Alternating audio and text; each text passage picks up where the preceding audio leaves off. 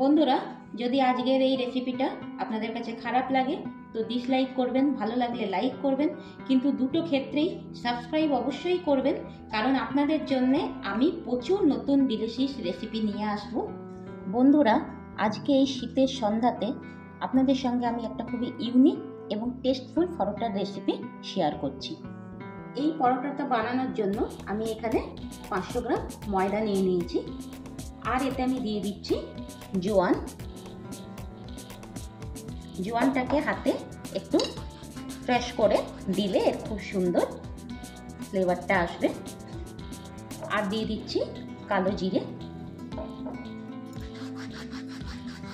সেটাকেও সেই একই পদ্ধতিতে আমি দিয়ে দেব। দিয়ে দিচ্ছি নুন। আর এখানে আমি দেব বন্ধুরা দই। আমি এখানে তিন চামচ দইয়ের ব্যবহার করেছি। আপনারা যদি দই পছন্দ না করেন, তাহলে দইটাকে স্কিপ করতে পারেন এবং তেল, ঘি এগুলোর ব্যবহারও আপনারা করতে পারেন। এবারে এগুলোকে আমি ভালো করে মিক্স করে ময়দাটাকে আগে ভালো করে ডোটা রেডি করে নিচ্ছি। বন্ধুরা, দেখতে পাচ্ছেন ময়দাটা আমি এইভাবে মেখে নিয়েছি। বেশি নরমও না, বেশি শক্তও না। ঠিক এইভাবেই আমার দরকার। এবার একে আমি 10 থেকে পনেরো মিনিট রেস্টে দেব। এই ভিডিওটা কিন্তু খুবই ইন্টারেস্টিং হতে চলেছে বন্ধুরা, তাই স্কিপ না করে পুরো ভিডিওটা দেখার চেষ্টা করবেন। বন্ধুরা, ময়দাটা আমাদের সেট হচ্ছে। ততক্ষণে আমরা সবজিটাকে চপ করে নিচ্ছি। এখানে আমি নিয়ে নিয়েছি বিনস, গাজর আর লঙ্কা।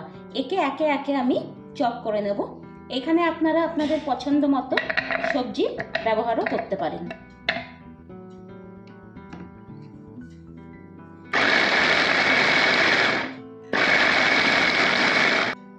এবারে আমাদের এই সব সবজিগুলো চপ করা হয়ে গেছে। এবারে একে আমি স্ট্যাপিংটা পুরো রেডি করব। ফার্স্টে যেটা দিয়ে দিচ্ছি, এখানে আমি ছোট মাপের দুটো আলুকে সিদ্ধ করে নিয়েছি। সেই আলুটাও এর ভেতরে আমি দিয়ে দিচ্ছি।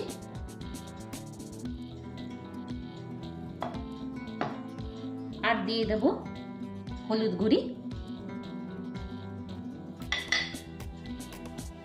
জিরে গুঁড়ি, আমচুর পাউডার।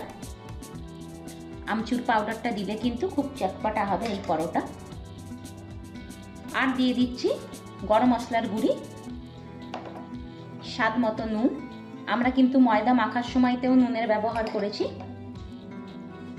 আর দিচ্ছি বড় চামচের এক চামচ কস্তুরি মেথি। এটাকে একটু হাতে এরকম ঘষে নিয়ে দিলে এর কিন্তু গন্ধটা খুব সুন্দরভাবে ওঠে।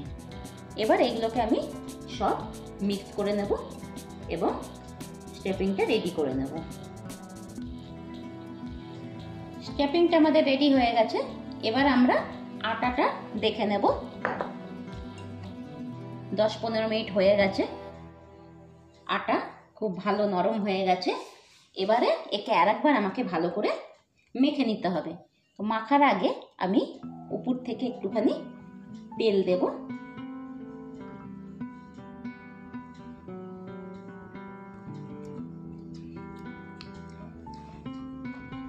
এই পরোটা কিন্তু বন্ধুরা খুবই হেলদি এবং টেস্টি তো বটেই। আপনারা অবশ্যই ট্রাই করবেন। এটা ব্রেকফাস্টে ডিনারে বা বাচ্চাদের লাঞ্চ বক্সে বক্সেও আপনারা কিন্তু এটা দিতে পারেন। সবাই দেখবেন খুব ভালোভাবে খাবে। লেচিগুলো আমাদের করা হয়ে গেছে। এই পাঁচশো গ্রাম ময়দা নিয়েছিলাম। এতে আমার সাতটা পরোটা রেডি হবে। এই পরোটা কিন্তু খুব একটা পাতলা হয় না। ওই জন্য একটু বড় বড়ই লেচি আমাকে করে নিতে হয়েছে। দেখতে পাচ্ছেন? আমি এইভাবে পাতলা করে বেলে নিয়েছি। এবার আমি এতে একটু উপর দিয়ে তেল দিয়ে দেবো। আমি এখানে সাদা তেলের ব্যবহার করেছি। আপনারা চাইলে এখানে ঘি বা বাটারেরও ব্যবহার করতে পারেন। এটা নিজের চয়েসের উপরে বন্ধুরা। এবারে আমি দিয়ে দেব স্ট্যাপিংটা।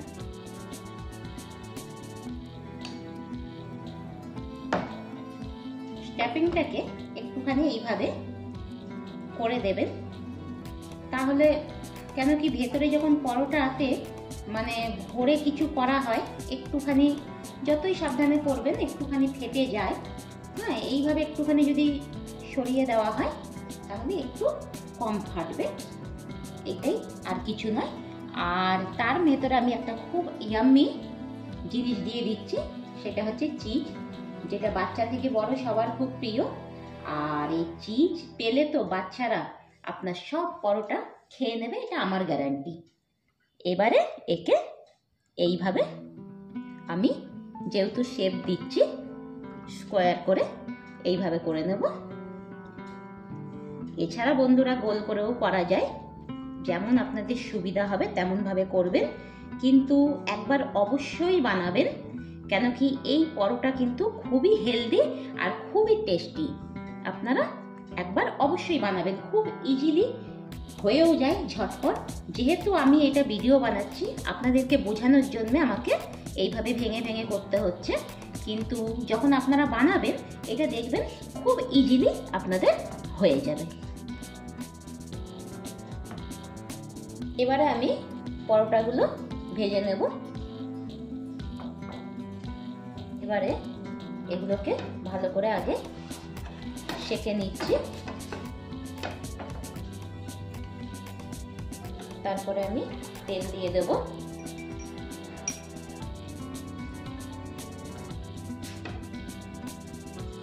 দেখুন কত সুন্দরভাবে পরোটা আমাদের ফুলে ফুলে উঠেছে।